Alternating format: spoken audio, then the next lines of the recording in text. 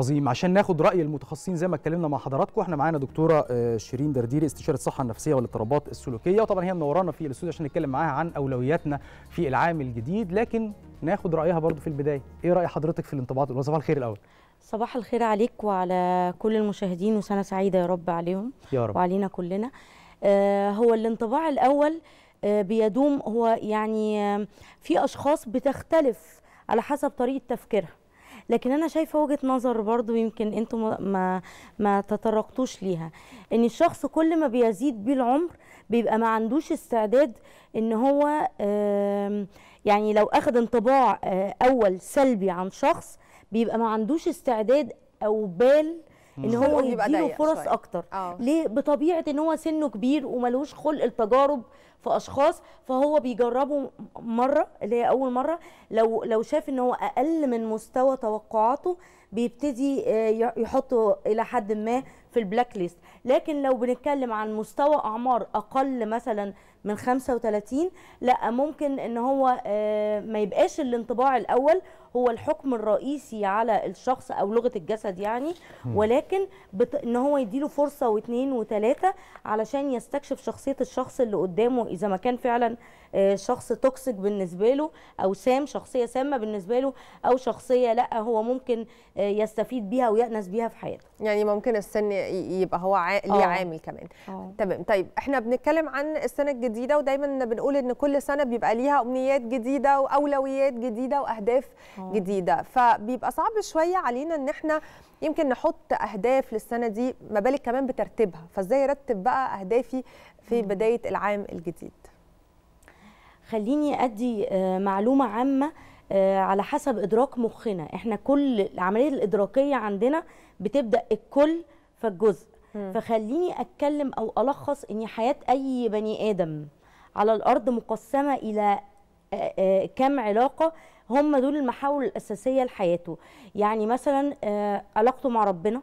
ودي في البداية ودي من الحاجة اللي يعني ال- البنود اللي أنا هتكلم فيها دلوقتي هي البنود اللي لازم كل شخص يقيمها مع بداية سنة جديدة بصفة إن البداية الجديدة لسنة جديدة بتبقى ساعة صفر للبني آدم بيحاول يقيم فيها إنسانيته وجوده كإنسان أصلا مم. العلاقات الأساسية اللي موجودة في حياتنا علاقتي بربنا آه، أقيمها أشوف أنا محتاج أغير فيها إيه في السنة الجديدة أنا راضي عنها أو مش راضي في أخطاء عملتها السنة اللي فاتت أو لأ ومحتاج أغيرها إزاي علاقتي بأسرتي سواء أسرتي ال ال لو أنا متزوج أبنائي وزوجتي أو آه، والدي ووالدتي وصلة الرحم بتاعتي. هل أنا مقصر فيها ولا محتاج إن أنا آه، أزود اهتمامي شوية؟ وفي ثغرات حصلت السنة اللي فاتت محتاج إن أنا أحسنها علشان ده مجال مهم بيسبب استقرار واتزان نفسي للشخص داخلي.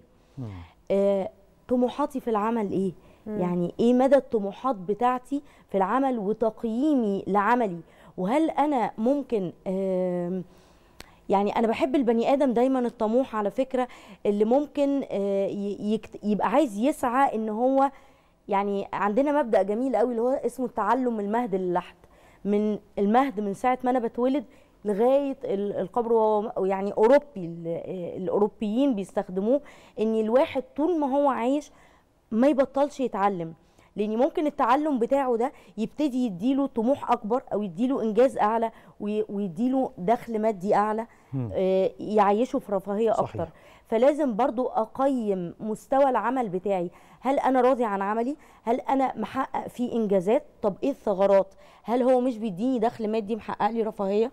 أو عندي تقصير في الجزء المادي ومش مش عامل لي المستوى اللي أنا بطمح ليه تكون في أسرتي وولادي فأنا لازم برضو التعلم مهم جدا والطموحات في العمل مهمة جدا جدا. طيب عظيم.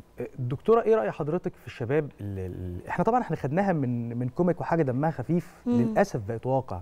مم. تسألي حد دلوقتي تقول له أنت ناوي تحقق إيه في 2023 يقول لك عندي الخطط بتاعه 2017 و 2015 في الدرج زي ما هي ما عملتش منها حاجة فهطلعها مرة تانية. في الأول كان دمها خفيف. لكن مع الوقت اكتشفنا إن دي حاجة بتسبب إحباط لناس كتيرة جدا. حضرتك تقولي للناس دي إيه؟ أقول للناس دي إن أنت طول ما أنت بتتنفس أنت عندك فرصة لتحقيق أهدافك. وأقول للناس دي افتحوا كده موسوعة جينيس عن الناس اللي حققوا إنجازات عالية جدا وبقوا مشاهير بعد الخمسينات مثلا. مم. يعني بنتكلم في درجة عمر عالية قوي ممكن نكون ما وصلنا لهاش ف... فلغايه ما انت بتتنفس انت عندك فرصة لإنجاز جديد. فبلاش التفكير المحبط ده. أنا يعني ضده خالص. وإن كان عندك أهداف عليها تراب وما اتحققتش حطها تاني قدامك. مم.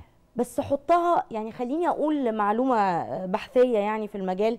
إن أنا شايفة إن إحنا لازم نعمل قائمه مع بداية السنة الجديدة أنا شخصيا بسميها قائمه الأحلام. لأن كل حاجة حوالينا لو بصينا عليها الكهرباء المايك ال... كل اختراع حوالينا كان في يوم فكرة وحلم لشخص مظبوط. عالم. وفضل ياخد خطوات وهو مش ضامن إن الحلم ده في الحقيقة ممكن يبقى حقيقة. فبالمنطق ده كلوجيك يعني إحنا كمان ممكن أي حلم بالنسبة لنا يتحول بحقيقة. بس الخطوات إيه بقى؟ إن أنا أول حاجة أكتب أهدافي لأن أنا شايفة والأبحاث قالت إن كتابة الهدف بتستخدم فيه أعصابك وبتستخدم فيه بصرك. فأنت يعني كتابته بالمعنى الحرفي قلم وورقة. آه آه. مم. إن روحك نفسها بتكتبه وعينيك شايفاه فبيدخل للعقل الباطن فبيتحفر جواه. فكتابة الهدف بتحقق 50% من الهدف.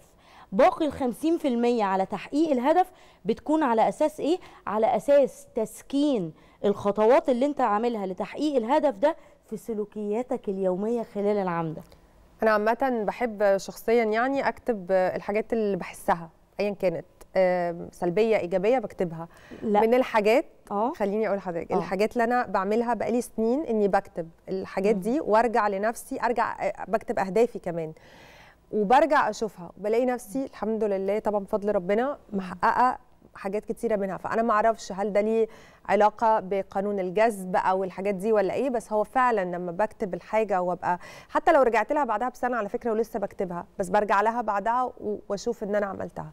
ساعات كتير مع الوقت آه، والروتين بتفقدي الشغف للأسف.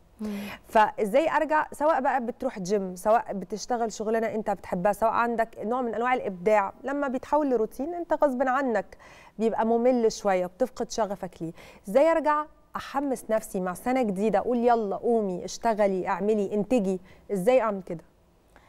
آه، آه، اولا أنا أنا أنا هركز بس على على نقطة إن الأهداف اللي أكتبها شرط إنها تكون إيجابية مش سلبية يعني آه، ال ال الأمور السلبية يا ريت أنا أنا ما أحبش كتابة الأمور السلبية لا أنا أقصد إنه انت- المشاعر آه السلبية الحاجات اللي أنا محتاجة إن أنا. أعدلها مم. عشان أذكر نفسي بيها أنا أنجزت فيها ولا لأ لو هنكتبها من الباب ده أوكي إنما الأهداف لو بنكتبها أهدافنا لازم تكون إيجابية مم.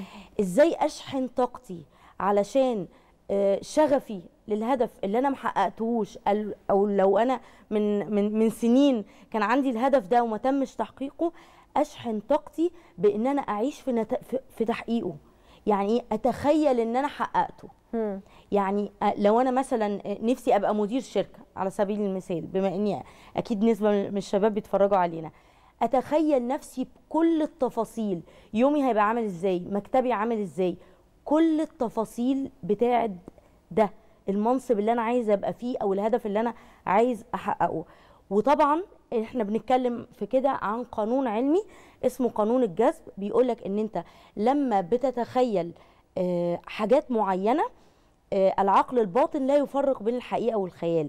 فبالتالي انت بتبعت إشارات كهرومغناطيسية عقلك الباطن بيبعت إشارات وجهازك العصبي بيبعت إشارات كهرومغناطيسية لكل حاجة في الكون تعلي احتمالية تحقيق الحاجات اللي انت بتتوقعها بتتوقعها بيقين.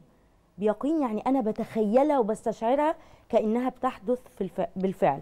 فبالتالي آه، إحساسي إن أنا بحقق حاجة ده بيخليني يعني علميا بنطبق بيه قانون الجذب إن أنا بعلي احتمالية حدوث ال- الهدف ده ليا وكمان بيبتدي يصحي عندي مشاعر آه، آه، زي تحفيزية إن أنا أشوف إيه الخطوات اللي هعملها عشان أنفذ ال- الهدف ده. طيب دكتورة أنا دلوقتي حطيت أولوياتي ورتبتها وأهدافي للسنة الجديدة. وفي بدايه السنة حصل حاجة غيرت كل حاجة تمام أو ظهرت مهمة جديدة رحت مكان عمل جديد في حاجة اتغيرت في الموضوع. إزاي أقدر أتعامل مع الموضوع ده؟ مفيش مشكلة خالص. هو خلينا نبقى كلنا عارفين إن إحنا في عالم متغير على فكرة. يعني كل يوم ممكن يبقى عندنا في مفاجآت. بس خلينا نقول إن في مفاجآت ساعات بتحصل لنا يعني كتير بالمناسبة يعني عشان أحث الناس على على الإيجابية أكتر. كتير ناس كده وكتير مننا بيبقى عنده مشاكل ويقعد يحلها مثلا مش عارف مش عارف لها حلول. فتيجي إن أنت تركز في حاجات تانية تديك آه، طاقة إيجابية أو تحقق حاجات تانية فتلاقي خلال الوقت ظهرت لك مفاجآت المشكلة اتحلت لوحدها. بأي تغير حصل حواليك في المنظومة البيئية اللي أنت عايش فيها. فبالتالي لو أنا حصل لازم أكون متقبل وجود تغييرات حواليا. من أهم مرن. آه. طبعا. ومن صفات البني آدم الناجح إن هو ما يفكرش يغير اللي حواليه. هو يفكر يغير تفكيره هو إزاي يتكيف مع اللي حواليه عشان يحقق اهدافه من يعني ما تفكرش تغير الكون لا صح؟ أنا مش هغير الكون. مم. أنا مش هغير الكون. أنا المفروض أتكيف مع المتغيرات اللي بتحصل علشان أحقق الأهداف بتاعتي اللي أنا حاططها. إنما لو قعدت قاعد ساكت مش بسعى ومستني إن الكون هيتغير عشان يحقق لي هدفي مش هيتحقق. طب يعني خليني أقول لحضرتك على حاجة. أنا شخصيا كتير قوي بحس إن أنا عندي حاجات كتيرة قوي عندي آه، زحام من الأهداف. زحمة بالظبط. إزاي آه. آه. تفرقي بقى بين ال... يعني مش هقولك بس انك تحطي أولوية إزاي حتى تريحي دماغك على فكرة الموضوع ده مرهق جدا نفسيا وعصبيا انك طول الوقت حاسة ان عليكي حاجات كتيرة جدا ومحتاجة تنجزي الحاجات دي كلها مم. وهل انت في وقت من الأوقات محتاجة انه لو انت بقى خلاص انت حققتي حاجات كتيرة آه، من أهدافك وفي في خلال السنة لو أنا هحطها مم. barrier زي ما بيقولوا أو على مدار السنة تقدري تقولي في وقت معين انه أنا عايزة أريح هنا في الحتة دي تعملي إيه لا طبعا هو لازم الشخص عشان أنا كتير بقعد مع ناس وبيجولي ودايما بيبقوا مناصب آه آه بنقول عليه overthinking أنا دماغي مش بتسكت. حتى ناس تقول لي إيه أنا حتى وأنا نايم دماغي مش بتسكت. فبالتالي بيتحول ده لأعراض نفس عضوية ومنها الأرق وقلة النوم وإن هو مش بيستمتع بالحاجات اللي حواليه. آه. ودي طبعا يعني اضطراب من الاضطرابات النفسية. طب نعالج ال- القصة دي إزاي؟ إن إحنا لازم نفصل من وقت للتاني. دي حاجة. لازم نحقق إيه الأهداف اللي أنا شايف نفسي إن هي هتجيب لي سعادة أكتر. أو إن أنا هدي بيها عطاء أكتر لأقرب الناس ليا. فده بالتالي هيعمل لي ستابيليتي هيعمل لي سلام نفسي. وهحط الأهداف دي بالأولويات يعني ارقمهم وكل هدف أنجزه أقعد آه، آه، يعني أشطب عليه. أشطب عليه والشطب ده على فكرة يعني أنا ب ب ب ب ب بحث الناس إن هي لما تشطب على الهدف تبتدي تشطب عليه جامد عشان تح ت- تحس إن هي تعبت وهي بتحققه فتفرغ أي الهدف. ألم نفسي حصل له خلال رحلة تحقيق هذا الهدف تفرغه في الحبر اللي بيشطب على ال على نجاح الهدف. على فكرة إحساس بالنجاح. آه ده ده وسيلة من تفريغ الطاقة السلبية على فكرة. خليني أتكلم عن تقنيات نفسية نقدر نعمل بيها آه، تفريغ نفسي. عندنا تمارين زي تمارين النفس آه، في علم النفس. عندنا التأمل مهم جدا جدا جدا لأن التأمل بي ال meditation يعني بيفصلك عن كل حاجة حواليك ال overthinker أو اللي بيفكر كتير بيعرف يتأمل؟ لازم يتدرب. هي دي طبعا محتاجة حلقة عشان أنا أشرح للناس ال meditation ممكن يعملوه لنفسهم إزاي يعني. وده طبعا أو إن هو يعني يروح لحد متخصص زينا ن- نفهمه التقنية يعني. في طبعا آه، دكاترة بيعملوه بس أنا بفضل يعني أنا من الناس اللي بحب آه، أعلم الناس آه، يعني ما أحبش أجيب له السمكة أعلمه إزاي يصطاد. أيوه. آه، فسهل برضو إن أنا أتعلم إزاي أعمل meditation وإن أنا أدرب أدرب جهازي العصبي على إن هم إن هو يعمل سكوت في وقت عشان أبتدي ا recharge أشحن تاني طاقتي وأشحن روحي إن أنا أكمل تحقيق وأكمل سعي. عظيم. إحنا ك... إحنا اتكلمنا على يمكن سكيل أكبر شوية اللي هي آه، أهدافك في السنة. آه. طب في اليوم هل ينفع في حاجة اسمها فن إدارة الوقت؟ يعني ينفع اخطط طبعاً. اليوم بتاعي أقول أنا الساعة كذا هعمل كذا؟ هل في ناس تقدر تعمل ده؟ آه خليني أقول إن لازم في اليوم بقى يبقى إحنا بنخصص حاجة قصيرة الأجل بنقول عليها ورقة عمل.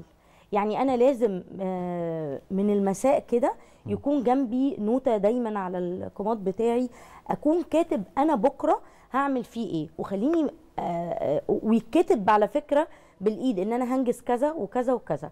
خليني أكون آه، أقول إن أنا بفضل إن ده يتعمل في التوقيت اللي هو قبل النوم مباشرة. لأن الوقت اللي قبل النوم بعشر دقائق بنقول عليه العقل بيكون في حالة اسمها ألفا. والوقت ده لو أنا بكتب أهداف إيجابية أنا عايزة أحققها تاني يوم ده ده بحث على فكرة اتعمل كيف أحقق أهدافي من خلال وقت النوم. فاحنا قبل النوم في الوقت في الوقت ألفا إحنا العشر دقايق اللي قبل النوم العقل فيهم بيبقى في حالة اسمها ألفا. أي أهداف في التوقيت ده أو حاجات أنا بفكر فيها بيبتدي تدخل الأفكار دي للعقل الباطن والعقل الباطن يفضل مخزنها تبتدي طول الليل ال- ال- ال- العقل الباطن يبقى عامل زي مخرج. يحقق لك الأهداف اللي أنت كتبتها وفكرت فيها في وقت ألفا ده في صورة حلم. عظيم. وبعدين تصحى الصبح يش يشحن لك السبع points for energy اللي موجودين في جسمك ب positive energy تحفزك بإن أنت عندك باور عالي جدا لإنجاز الأهداف اللي أنت عظيم. اخترتها ده يخلينا نقول إن إحنا ما ينفعش نسيب حياتنا كده ماشية بالبركة. لازم كل حاجة طبعاً. تكون مخططة ومدروسة سواء اليوم أو حتى السنة. لازم يكون عندنا أهدافنا وإحنا في بداية السنة حاطين أهدافنا ونسعى لتحقيقها خلال آه، العام. بنشكر حضرتك طبعا. شكرا جزيلا. شرفتينا ونورتينا. دكتورة شيرين. درديري استشاري الصحة النفسية والاضطرابات السلوكية. شكرا جزيلا يا فندم.